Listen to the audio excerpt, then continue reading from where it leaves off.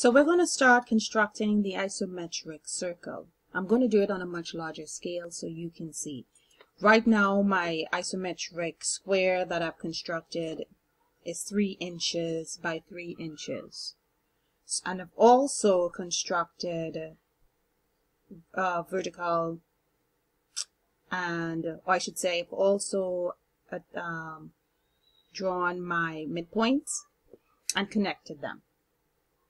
So now with that, we're going to go in with, I'll identify where my obtuse angles are. So here's my obtuse and here's my obtuse. So I want to draw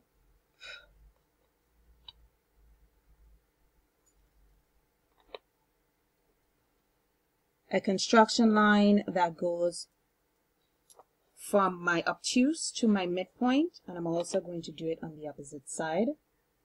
Now this represents our radius for our larger arc. Right? So it's the radius for our larger arc. So I can go in with my compass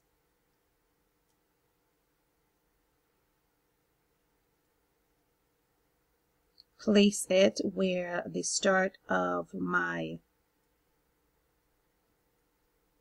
point is or where that obtuse is. I'm going to make a small mark on each side and you'll see that I did this, it's lining up. So I'm going to make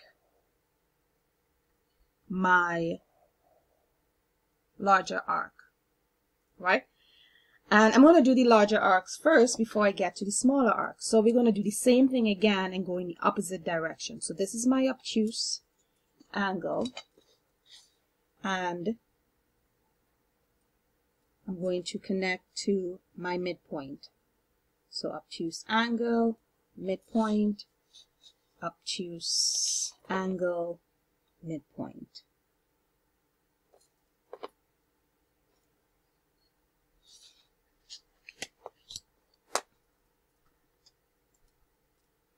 And it should be the same uh, dimension. So I'll make a little mark again and it should line up. Okay. And from my tangent here to a tangent there, I'm going to then define my arc. So now we have an intersection. The intersection gives us the radius for our smaller arcs. Right? So it's the radius for our smaller arcs.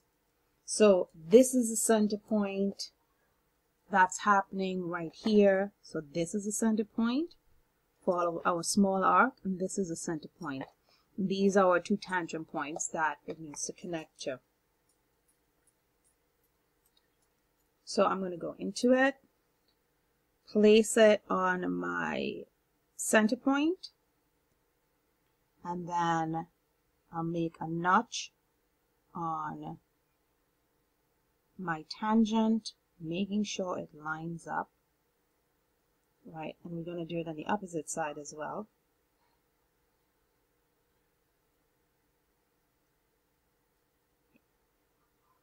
And then we're going to get that.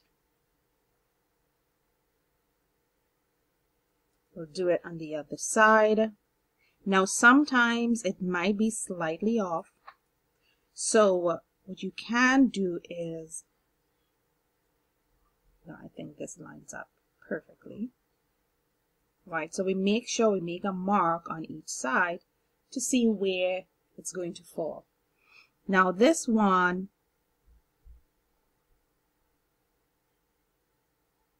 it's slightly off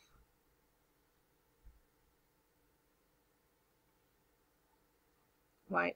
But yeah, I think it lines up well now. I'm going to erase this little piece right here. So we have our isometric circle. Let's try it on the other side again so you can see how I've done it from scratch.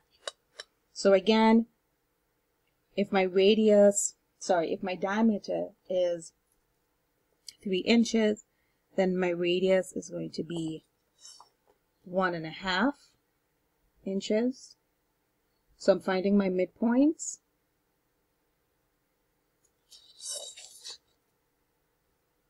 And connecting it.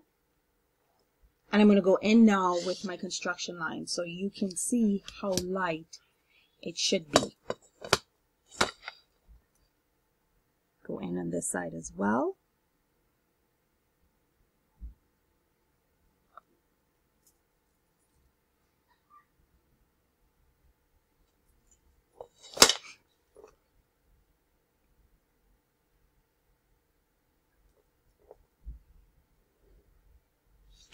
Right? So we have our construction lines. Again, we identify where our obtuse angles are, and we're going to create a V from here to our midpoint.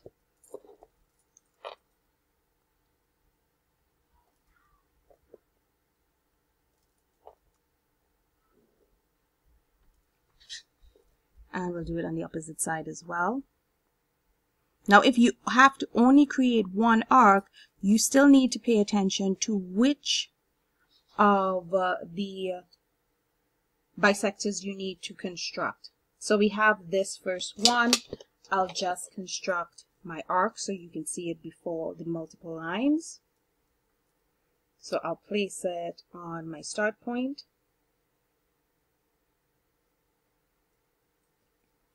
Open it up.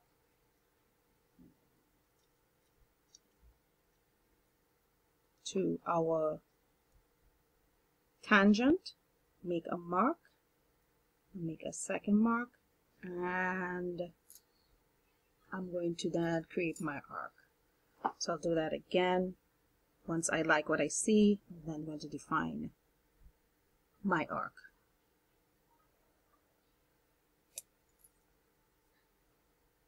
Alright, we can also go like this and just construct it if this is the arc we need only. But what is going to happen is, so I can do this, right, mark that, mark that, it lines up, and make my second arc, right, but we need our bisectors to create that for the smaller radius. So we're going to go back here again from my obtuse. I'm going to connect to my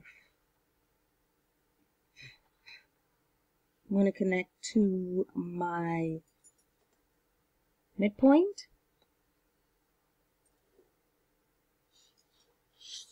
We'll do it on this side as well.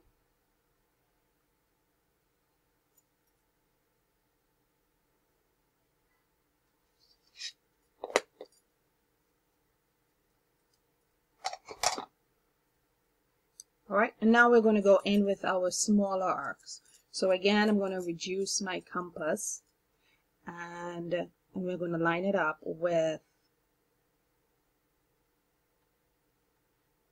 my two tangent points. So this is one. We'll make a mark on that side. All right, see I made the mark. And then we're going to come over like that. So I'll make it more defined so that there is a consistency in our object line. I'll come to my center point here to the bisector where it intersects and I'll make a mark here and a mark there.